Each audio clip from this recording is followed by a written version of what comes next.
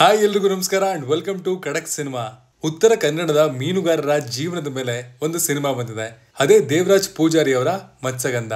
ಪೃಥ್ವಿ Ambar police inspector ಪಾತ್ರದಲ್ಲಿ ಕಾಣಿಸ್ಕೊಂಡಿರುವಂತಹ Matsyagandha cinema release ಆಗಿದ್ದು ಸಿನಿಮಾ ನೋಡಿ ನಮ್ಗೆ ಏನ್ ಅನಿಸ್ತು ಅನ್ನೋದನ್ನ ಇವತ್ತಿನ ರಿವ್ಯೂದಲ್ಲಿ ಹೇಳ್ತೀನಿ. ಬನ್ನಿ ನೋಡ್ಕೊಂಬರೋಣ.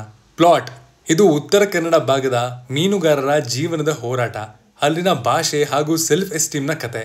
ಆ ಊರಿನಲ್ಲಿ ಲಾ ಎನ್ಫೋರ್ಸ್ಮೆಂಟ್ ಮಾಡುವಂತಹ ಪೊಲೀಸ್ಗೂ ಜನಸಾಮಾನ್ಯರಿಗೂ ಕ್ಲಾಶ್ ಆದಾಗ ಏನೆಲ್ಲ ಆಗುತ್ತೆ ಅನ್ನೋದೇ ಸಿನಿಮಾದ ಪ್ಲಾಟ್ ಕ್ಯಾಸ್ಟಿಂಗ್ ಸಿನಿಮಾದಲ್ಲಿ ಪೃಥ್ವಿ ಎಂಬರ್ ಜೊತೆಗೆ ಪ್ರಶಾಂತ್ ಸಿದ್ದಿ, ಶರತ್ ಲೋಹಿತಾಶ್ವ ಬಜರಂಗಿ ಲೋಕಿ, ನಾಗರಾಜ್ ಬೈಂದೂರ್, ಕಿರಣ್ ನಾಯಕ್ ಮುಂತಾದವರು ಆಕ್ಟ್ ಮಾಡಿದ್ದಾರೆ. ಅನಾಲಿಸಿಸ್ ಈ ಸಿನಿಮಾದ ರಚನೆ ಮತ್ತು ನಿರ್ದೇಶನ ದೇವರಾಜ್ ಪೂಜಾರಿ ಅವ್ರದ್ದು. ದೇವರಾಜ್ ಪೂಜಾರಿ ಅವರ ರೈಟಿಂಗ್ ಹಾಗೂ ಡೈರೆಕ್ಷನ್ ಎರಡೂ ಚೆನ್ನಾಗಿದೆ.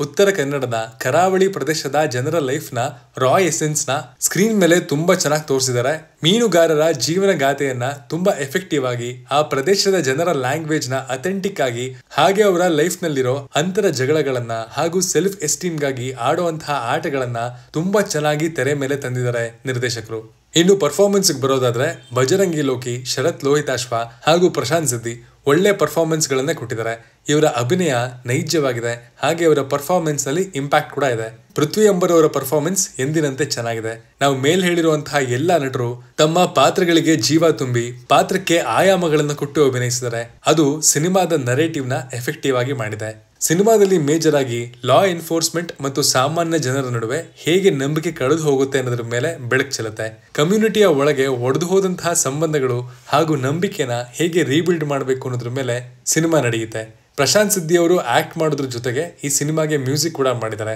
ಅವರ ಮ್ಯೂಸಿಕ್ ನಿಜಕ್ಕೂ ಚೆನ್ನಾಗಿದೆ. ಸೀನ್ಗೆ ಬೇಕಿರುವಂತಹ ಎಮೋಷನ್ಸ್ನ ಅಪ್ಲಿಫ್ಟ್ ಮಾಡುತ್ತೆ. ಹಾಗೆ ಪ್ರವೀಣ್ ಎಂ ಪ್ರಭು ಅವರ ಸಿನಿಮಾಟೋಗ್ರಫಿ ಕೂಡ ಚೆನ್ನಾಗಿದೆ. ಕರಾವಳಿಯ ಸೊಬಗನ್ನ ತುಂಬಾ ಚೆನ್ನಾಗಿ ಕ್ಯಾಪ್ಚರ್ ಮಾಡಿದ್ದಾರೆ ಮ್ಯೂಸಿಕ್ ಮತ್ತು ಸಿನಿಮಾಟೋಗ್ರಫಿ ಸಿನಿಮಾಗೆ ಬೇಕಿರುವಂತಹ ಒಂದು ಫೀಲ್ ಅನ್ನ ಕೊಡುತ್ತೆ. ಅಂಡ್ ಈ ಸಿನಿಮಾದಲ್ಲಿ ಮೇಜರ್ ಫೀಮೇಲ್ ಪ್ರೊಟಾಗನಿಸ್ಟ್ ಅಥವಾ ಹೀರೋಯಿನ್ ಅಂತ ಇಲ್ಲದೆ ಒಂದು ಕಂಟೆಂಟ್ ಅನ್ನ ನಂಬಿ ಸಿನಿಮಾವನ್ನ ಕಟ್ಟಲಾಗಿದೆ. ಅಂಡ್ ಈ ಕತೆಗೆ ಹೀರೋಯಿನ್ ಬೇಕೇ ಬೇಕು ಅಂತ ಕೂಡ ನಿಮಗೆ ನೋಡ್ತಾ ನೋಡ್ತಾ ಅನ್ಸಲ್ಲ.